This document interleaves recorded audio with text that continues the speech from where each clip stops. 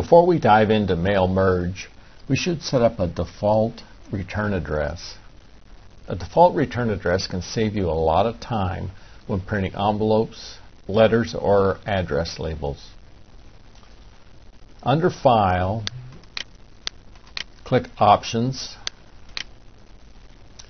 Advanced, scroll down to the General section, type in your return address in the mailing address box. To save time, I'll paste in mine.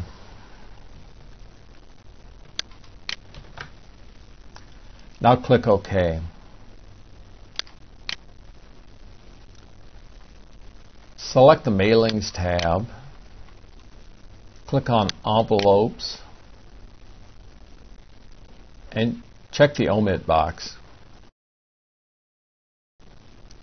The return address stays in the box, but the envelope preview shows it's been removed.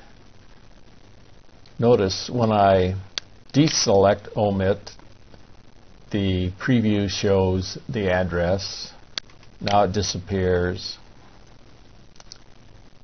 And now it's there again.